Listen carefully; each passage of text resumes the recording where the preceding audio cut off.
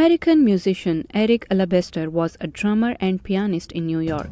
Then he met Ustad Mulazim Hussain, a Pakistani drummer who plays the tabla. For Eric, the introduction to South Asian or Desi music changed everything. I'm uh, a lifelong student of music, and uh, I, ha I, have because I've been uh, introduced to Desi music. Um, I am sort of between two worlds, and um, it's um, each each world. It's a it's a um, complete world unto itself.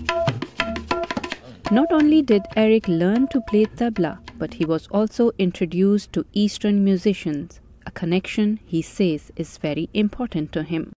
The things that you get from friendship are uh, are universal. It doesn't matter what uh, where that person was born, what their religious religion is, what beliefs are. As long as you have this connection in your heart with them, that's that's what counts.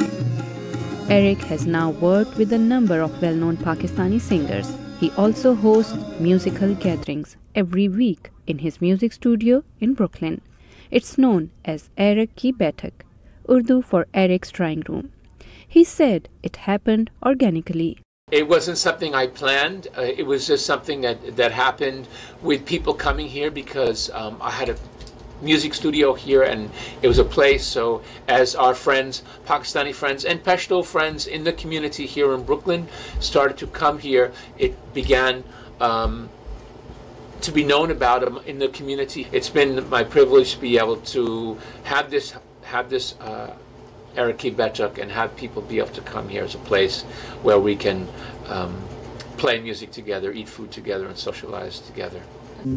Eric believes the things that unite us are stronger than the things that divide us. And for Eric Alabaster, music is that thing.